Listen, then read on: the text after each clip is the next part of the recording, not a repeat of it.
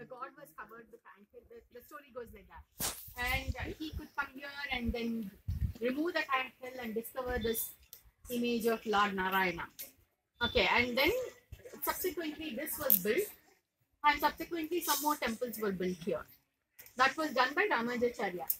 And later, of course, he moved to other places, Srirangam and other places, and uh, his image of Ramanujacharya, which used to talk, it seems, I don't know, the image had the power to reply back to the people. So that is here in, in that temple where we are going to see now. So the image now, I don't think it had any powers right now. it used to, it seems. That is called as Uhanda uh, Vigraha, meaning the Tan Uhanda Vigraha, meaning the person who has given power to the Vigraha. That is the thing which uh, you see downstairs. Okay. Then uh, this basically this place has got about 3,000 to 4,000 population and it has uh, about 80 ponds, 80, 80 ponds and uh, 110 mantapas.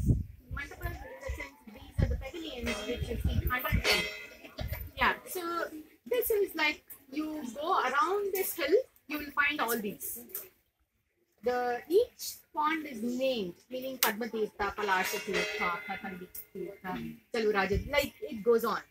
Why there are so many ponds is because each one of them built, I mean, the, the ci- citizens built here for their, for example, they have a